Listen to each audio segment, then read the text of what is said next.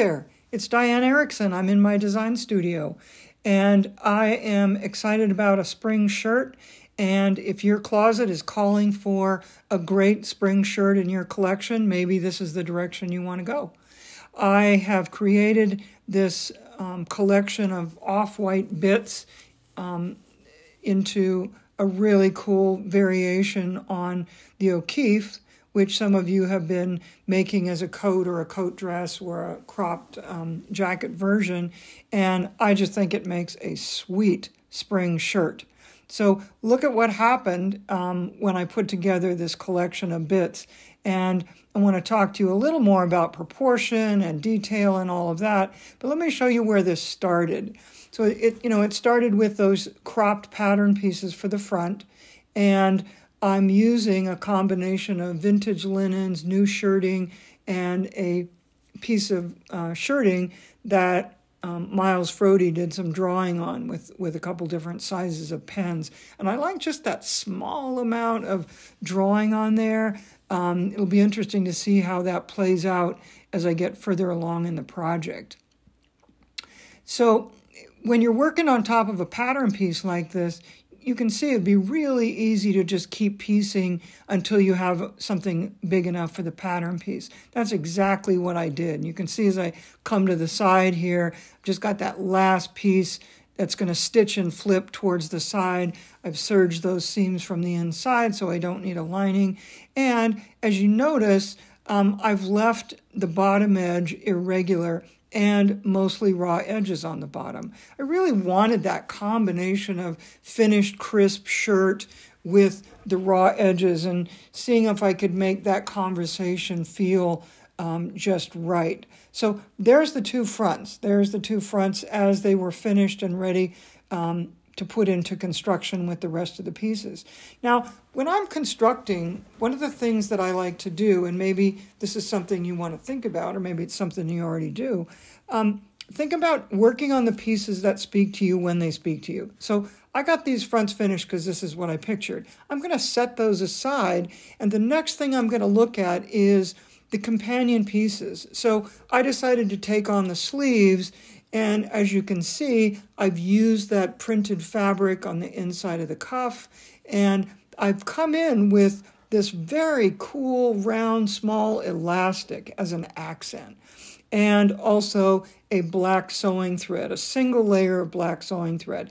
That's really going to be the beginning of my detail um, combination. I'm not going to add anything else. Those things are going to be enough, and I'm going to work them. So remember, once you find a detail that you really love, I want you to be repeating that. So I also think about, notice how in the photo I've got the cuff folded back. I think about that. Think about when you put that shirt on, what are you going to do? How are you going to pop the collar? Are you going to fold the sleeve back? What is going to show because of the way you wear your clothes? And I think that's a really important design detail to consider because it lets you play with placement of things. Um, so, in addition to doing the sleeves and setting those to the side, I also decided to do a little inset in the back of the neck um, with one of the little printed pieces of fabric. So now when this shirt is being worn, the eye is pulled of the viewer is pulled up to the back of the neck, and that sweet little stitched detail across the back of the collar. Those things are things that allow you to direct the eye of the viewer. I love that piece.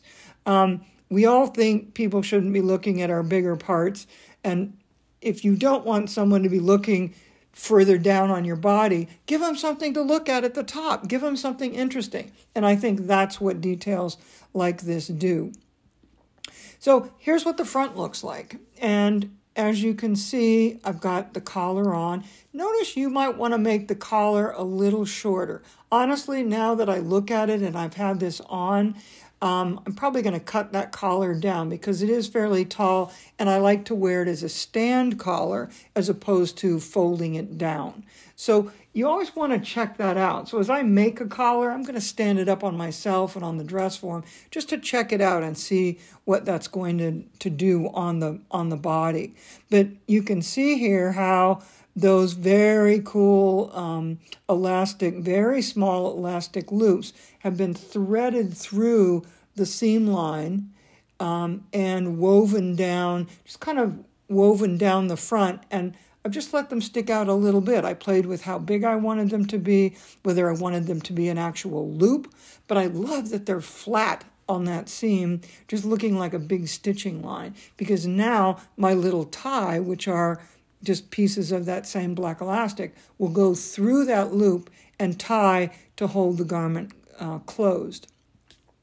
You can see on the inside of the shirt, what I did was just a facing down the front because I wanted that shirt front to stay fairly um, thin and a little bit see-through so you could see the detail and flesh color underneath would let the um, the stitching and the detail on the surface design of the different fabrics really show through without um, covering that up. So I just wanted a very small facing on the front. You can see my seam edges are serged, and that was um, that was my way of, you know, finishing but leaving it still a little bit raw edge feeling. Um, let's talk a minute about proportion. Wow, you can see how dramatic the difference is between the front and the back of this shirt. That could be several different shapes. The back edge could, you know, that back um, pattern piece, you could take it longer, you could take it shorter, it can be curved. I elected to make it um, a longer piece. And when you're playing with this proportion, look at it on you. What is your body type? What is calling you? What is going to be the best look on you? You may want to make that front cropped, but a little more asymmetrical to distract and keep the eye on the moving of the garment instead of maybe a little rounder tummy underneath. I elected to go with a longer back, and you can see on the side I've finished part of the front, then it goes to a raw edge.